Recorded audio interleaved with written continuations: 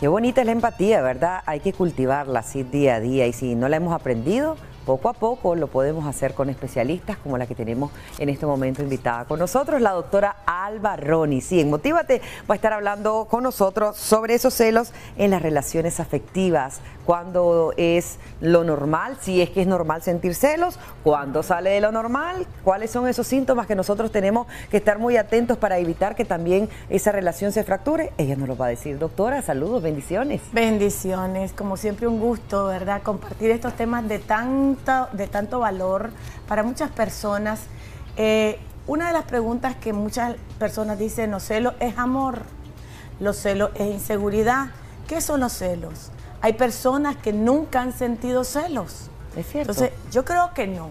El celo es parte inherente del ser humano. Es parte de ese sentimiento de, de decir, es mi relación, es mi amiga, es mi... Y en algún momento nos sentimos a veces sustituidos por otra persona y eso nos causa un malestar. Entonces es bien importante comprender que no es que no vamos a tener celo del todo, que nunca en mi vida voy a experimentar una emoción como esto, porque es parte del ser humano. Doctora, en este momento eh, directamente nos vamos con las relaciones afectivas. ¿Cuáles son esas?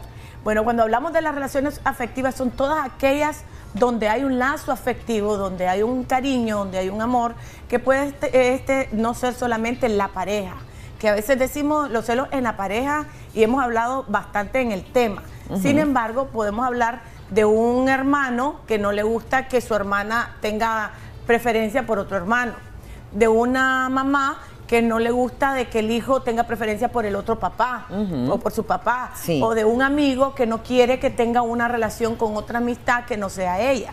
Entonces es un celo que tiene que ver con todas las áreas emocionales y las relaciones emocionales. Esos lazos afectivos que tenemos con amistades, con familia, con eh, en el trabajo, con compañeros de trabajo, porque también se da de que no, es que vos sos mi amiga o vos vas a andar conmigo y si yo te veo ya cenando, comiendo o haciendo algo con otro o con otra, entonces comienzo a tener inseguridad. Entonces, una cosa es tener ese sentimiento o esa incomodidad, ah, ya no está conmigo, o será que esa persona está sustituyéndome en, el corazón de esa persona porque veo que ahora anda más conmigo y cada vez me va eh, eliminando de su, de su red o de su círculo. Eh, social o amistoso. Sí, Entonces, ¿Son buenos los celos o no? Me preguntan, doctora. Bueno, yo creo que es bien importante tener una medida bien prudente y sana. Si yo tengo un sentimiento, una emoción que no me gusta, y, pero bueno, ok, eh, tengo que comprender que esa persona no es mía. No tengo que tener la posesión ni de mi compañero de trabajo, ni de, ni de mi amigo, ni de mi familiar, ni de nadie entonces, cuando yo me siento con posesión y alimento esa posesión, puedo caer en la celotipia, que ya es un oh. trastorno mental. Ya es un trastorno donde la persona se siente totalmente eh, dueña de la otra persona y entonces y cualquier gesto, cualquier eh, conexión emocional que pueda tener con otra persona comienza a lastimar. ¿Qué emociones despiertan los celos, doctora? Yo creo que es bien importante cuidar mucho la autoestima, ¿verdad? Cuando nosotros ponemos ese valor o ese peso de valor, en vez, en, vez de ponerlo en nosotros, lo ponemos en otra persona o en una relación, entonces comenzamos a tener miedo al abandono o miedo a ser sustituido o miedo a que la persona se vaya y que ya no seamos nosotros parte de ella. Entonces, el autoestima tenemos que cuidarlo mucho. Las relaciones anteriores también nos marcan mucho para tener cierto grado de celo. Por ejemplo, una persona que ha tenido una, una herida de deslealtad por una amistad o de deslealtad por alguien que confió y lo traicionó, por lo general va a atender, no siempre va a ser así, pero va a atender que tenga celos con una amistad, con otra, con oh. un familiar o algún tipo de herida o trauma que haya tenido en el pasado. Tenemos una llamada, doctora. Muy buenos días. Adelante, use la bocina de su teléfono y le baja el volumen a su televisor, por favor, para podernos comunicar. Adelante. Aló, eh, solo quería hacer una preguntita. Sí. Sí, le escuchamos. Sí, buenos días. Eh, yo quería hacer una pregunta. Sí, le escuchamos. ¿Cuál es su consulta? Que quería saber si era normal, ¿verdad?, de que una persona cede a su pareja con solo verlo a verle, verle, verle hacer una llamada a una cuadra y tal vez la otra persona se puso a reír en la llamada y la otra persona se puso de una forma explosiva. Y cada vez que la persona le habla a sus amistades, a su grupo de amistades, a su, a su comunidad cristiana, no quiere que tenga amistad con nadie. Exactamente, esos son los celos eh, enfermizos de lo que estamos hablando de manera afectiva, porque las personas no son propiedad de nadie y es importante entenderlo. Ahí lo que puede estar ocasionando este tipo de celos puede ser que haya falta de comunicación, falta de intimidad con la relación, en la relación de pareja, eh, falta de, esa conexión emocional con su pareja que esta persona puede sentir de que al no tenerla con ella puede tenerla con otras personas. Entonces oh. podría estar ocasionando este celo que puede llegar eh, a situaciones muy enfermizas. Si vemos ahora, por ejemplo, los femicidios, eh, la violencia, se han generado específicamente por, por este tipo de cosas, por celos. No se trata de justificar, pero a veces he escuchado que eh, lo que se dice, no hagas cosas buenas que parezcan malas, porque a veces se dice es que ella es celosa de la nada o es celoso de la nada, pero ¿por qué si están en, en la casa, por qué debe salir a hablar fuera? Si es alguien que se conoce, ahí no tiene mucho que ver o puede ser que es de la oficina y no quiere eh, escuchar ruido y por eso debe salir, ¿verdad?, de casa a hablar fuera o del vehículo. Son dos cosas que también tenemos que nosotros valorar y no necesariamente caer en los celos, doctora. Es que a veces nosotros podemos ver ya la situación como la que acaba de, de reflejar nuestro televidente es que se puso enojado o enojada por esto y por esto, pero ¿qué antecede a esto? ¿Cómo está la relación de la pareja? Porque si hay una relación en este momento tóxica, dañina, donde se descalifican, donde hay agresión, donde no hay comunicación, donde no hay intimidad, donde hay un sinnúmero de, de situaciones y ve esta conducta que sí puede reír con otro, pero no con su pareja, sí puede tener esa alegría, ese entusiasmo de conversar y lo ve tan feliz de largo, pero no la tiene con ella, entonces esa persona lo que tiene es un problema de autoestima y un problema de no la relación.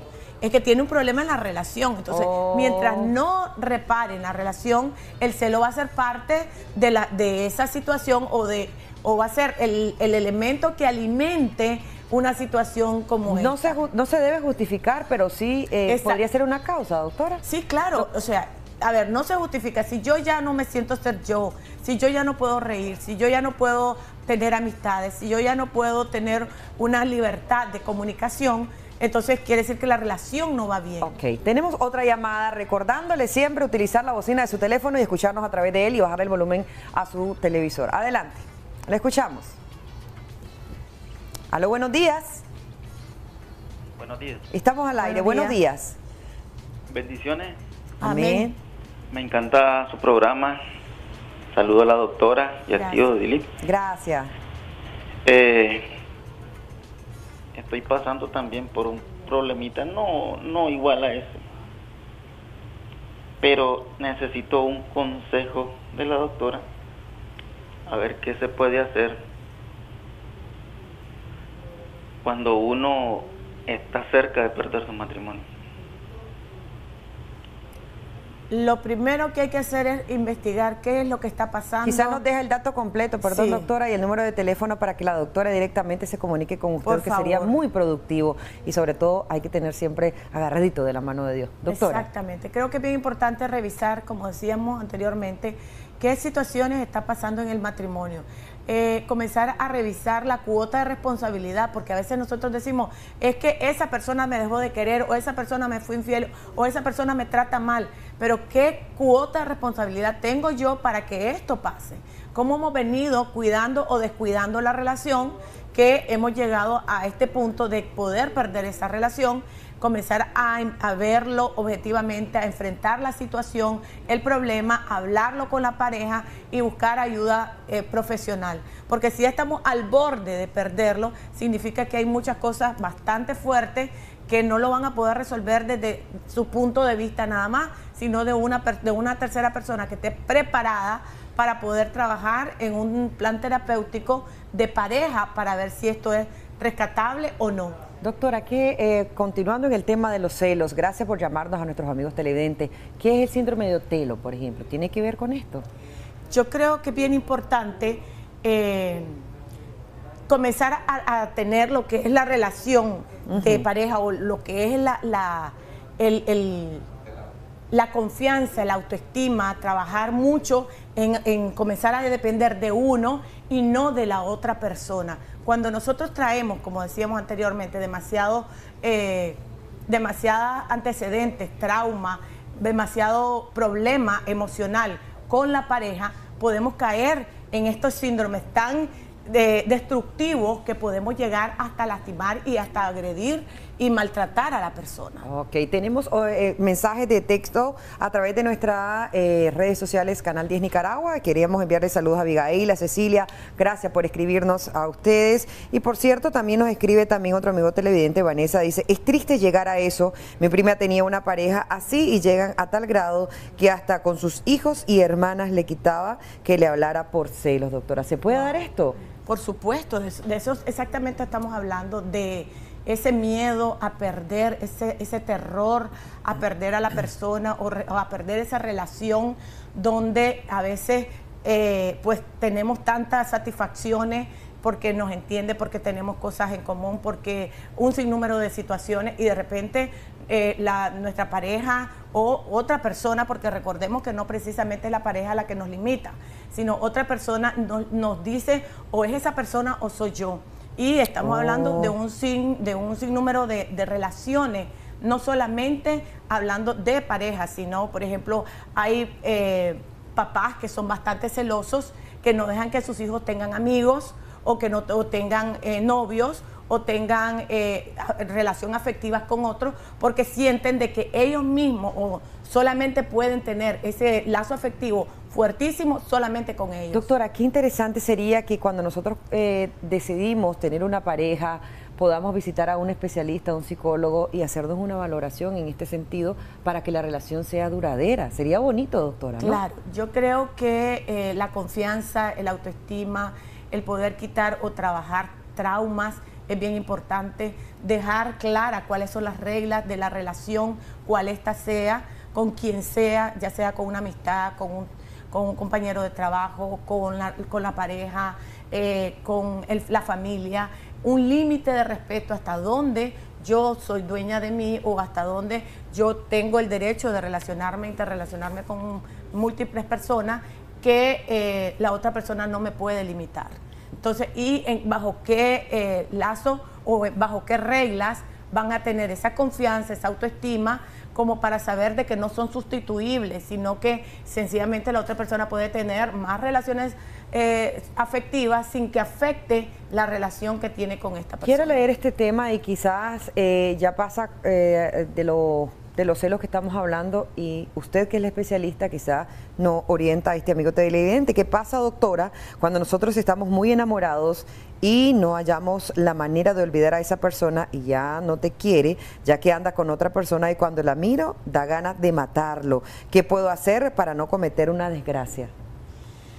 Yo creo que eh, ya está cayendo en lo que es la celotipia, ¿verdad? Que es una enfermedad muy grave que llegan a, a pasar desgracia y lo hemos visto muy seguido pues, en, los medios de comunicación, cuando una persona se siente en tanta posesión de alguien que es bien, bien difícil que eh, la misma energía la misma desesperación, la misma ansiedad no sabe qué hacer. Entonces siente amor y odio. Amor porque siente que necesita tener a esa persona, pero lo odia porque siente de que se, eh, se le va de las manos y que le siente un rechazo. Y si esta persona trae arrastrando rechazo desde su infancia, del papá, de la mamá, de, de, alguien o sufrió bullying. Entonces esto vuelve a abrir esta, estas heridas y comienza a facturar a esta persona eh, esas heridas y puede llegar hasta una violencia muy grande, porque la, la, persona siente que no puede, o sea, aunque quiera soltar, no puede soltar, siente una desesperación horrible que es mucho más grande que ella. Por eso es bien importante buscar ayuda profesional, tanto con, con un psicólogo como con un psiquiatra, si mis impulsos son más grandes que mi, que mi conciencia, que lo que yo estoy pensando que debo de hacer, que debo de hacer esto porque es correcto, pero mi sentir es totalmente diferente. Quiero, eh, quiero controlarlo, quiero saber a dónde está, quiero golpearlo, quiero dañarlo, porque siento que no puedo estar sin esa persona. Y esas son las codependencias emocionales.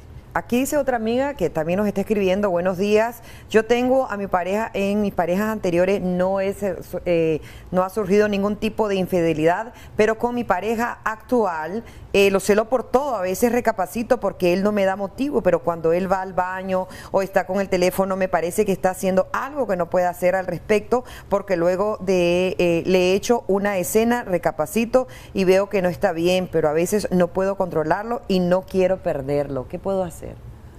Yo creo que es bien importante la comunicación, es importante subir el autoestima, la madurez, revisar qué es lo que está pasando en la relación, cómo comenzó, cómo se viene a desvirtuando a través de un sinnúmero de, de factores que pueden estar interfiriendo. Y yo sí creo que es bien importante buscar ayuda cuando uno ya no puede manejarlo y cuando uno ya no puede eh, controlarlo. Porque realmente pues podemos llegar a, a estados muy altos donde nosotros no podamos controlar la situación y podamos llegar a, tener pues eso, eso ese trastorno como la celotipia que viene de la misma pregunta del síndrome de Otero, ¿verdad? Donde la persona se imagina un sinnúmero de cosas, se crea un montón de historias y como se las crea aquí, comienza a tener esa película mental, que aunque no sea así, comienza a sentir emociones horribles y comienza a desbordarse y esas emociones la va a llevar a una conducta totalmente destructiva. Entonces es importante cuidar nuestro diálogo interno ante cualquier estímulo que me puede estar diciendo a mí, eh, porque a veces vemos a nuestra pareja hablar por teléfono y decimos, sí, seguro está hablando con alguien, ¿Quién sabe, y, quién, sabe con quién, con esa persona si la pasa bien, y comenzamos a crear una película enorme delirantes a veces, decir, no, si yo te vi que estabas hablando con alguien y tal vez, pero si estaba hablando tal vez con mi jefe, o mira, estoy hablando de cuestiones de trabajo, no, yo te escuché y comenzamos a delirar y a, inventar, nuestra mente crea esa nueva imagen o esa nueva, eh, oímos eh, cosas que no son de una manera delirante, que creamos esa necesidad de responder porque sentimos que alguien nos está siendo infiel. Y eso no resta que no existe la infidelidad. Ya hemos hablado de ese tema, ¿verdad? Pero hay algún tipo. Pero hay elementos bien claros sobre las infidelidades y hay infidelidades emocionales también. Correcto. Que a veces no precisamente fue que se tuvieron contacto sexual, sino que a veces eh, la, la, pareja comienza a sentir que ya no es tan importante para su pareja porque su conexión emocional está con otra persona. Y puede ser no precisamente con una persona que quiera tener relación sexual, puede ser con un amigo o una amiga, puede ser con una familia, con mamá, con papá, con un hijo, pueden haber incestos emocionales. ¿Por qué? Porque la posición o el lugar de la pareja, que debe ser único, exclusivo, hablando de la relación íntima, eh, sexual y emocional, que son las dos conexiones fuertes que sostienen una relación, eh, pues la emocional la tienen con otra persona y la sexual con la pareja. Y lo correcto, doctora, como hemos aprendido de usted, correctamente también hablarlo entre parejas, estas situaciones, y no pedir eh, opiniones, porque a veces nos creemos tanto que podemos también dañar a nuestra pareja con algunas complicaciones de comentario. Entonces hay que buscar a los especialistas que sean ellos quienes nos orienten y nos coordinen, porque una relación es de dos, no de los hijos, no de los padres, no de los hermanos, vecinos, amigos, es, una relación de dos. y desgraciadamente muchas veces nos venimos y nos desahogamos en alguien, que ese alguien nos va a venir a consolar. Es que, ve, si yo quisiera que mi pareja fuese así, comenzamos a crear lazos afectivos que pueden poner en peligro a su pareja. Hay cosas que no son para nadie, ningún otro tipo de relación más que para la pareja y tenemos que cuidarla, porque la pareja es la, la, primera en jerarquía de prioridad que debemos de darle, que debemos de tener para tener una relación sana y bonita. Como no, doctora, muchísimas gracias. Eh, saludos muy especiales de parte de Mateo. Le envía aquí en las redes sociales. Dice ah, que muchísimas gracias. Saludos de parte de Mateo a usted que tenga un bonito, ¿verdad? Fin de año excelente y bendecido año 2023. Igual, feliz año nuevo. Vámonos de inmediato a una breve pausa comercial y ya volvemos.